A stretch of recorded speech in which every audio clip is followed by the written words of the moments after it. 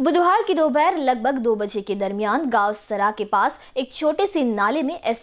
के compartment number 707 में रिसला range में बीट गार्ड श्री श्रृंगापुर को दिखा यह क्षेत्र पेंच टाइगर रिजर्व के नालोगाड़ी रेंज से जुड़ा हुआ है शव उन्नतः अधपतन की स्थिति में था और सभी बाल गिरे हुए थे शव के सभी पंजे कटे हुए पाए गए बाघ पूरी तरह से विकसित हो गया था और अनुमान लगाया जा रहा था की बाघ की मौत कम से कम सात से आठ दिन पहले हुई होगी इस घटना की जांच की जा रही है